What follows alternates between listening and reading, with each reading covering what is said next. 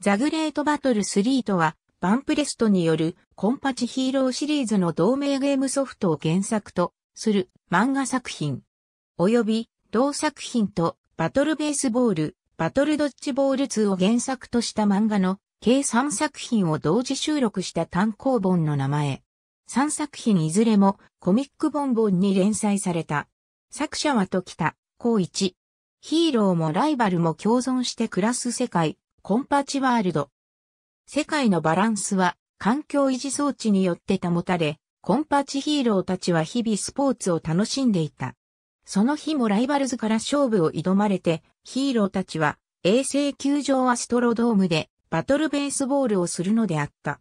アストロドームに隕石が衝突し、F91、グレート、RX そしてロアの4人は、中世の面影がある世界に飛ばされた。そこで国王からその世界は4人がかつて戦い倒したザンエルとダークブレインに脅かされていることを知った。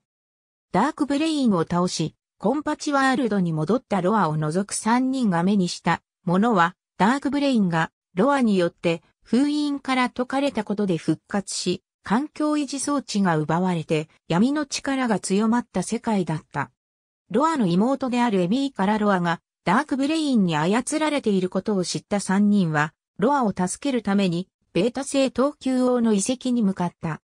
ゲーム、バトルドッジボール2で、チームセレクトに、ボム、ボム、と入力するとこの漫画でのチームを再現した、スーパーヒーローズが使用できる。雑誌掲載時に事実上、第1話であった、バトルサッカー、及びコミックボンボン増刊号に掲載された、バトルドッジボール2の後日談が未収録。ありがとうございます。